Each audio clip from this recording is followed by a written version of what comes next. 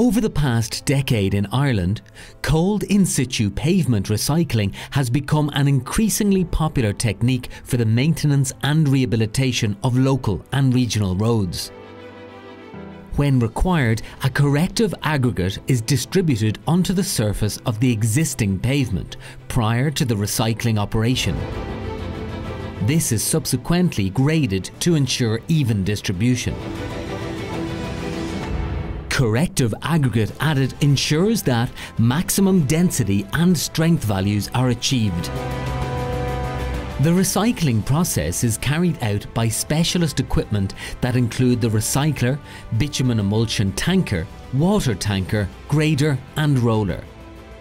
Following the grading operation, the recycler mills or pulverizes the existing road surface to the target depth, mixing it with the corrective aggregate to form a new granular mixture. The design process determines the depth of material to be recycled following sampling of the existing pavement.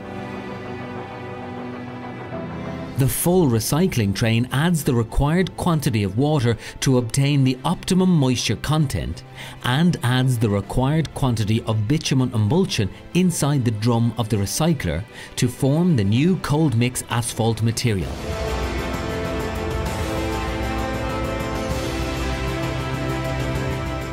The recycling process is carried out in full compliance with the IAT's best practice advice for cold in situ recycling of low traffic volume roads. The applied newly formed cold mix layer is graded to the required profile and compacted using a roller to form the new asphalt pavement layer in preparation for a double surface dressing which is typically 14mm chipping followed by 10mm chipping.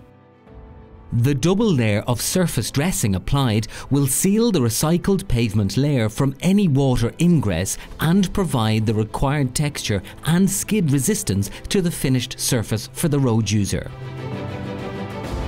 From an environmental perspective, in addition to using a cold technique where less energy is required as the aggregates do not have to be heated, unlike what is required for the production of conventional hot mix asphalt, the recycling process also reduces the use of valuable natural resources such as bitumen and aggregates.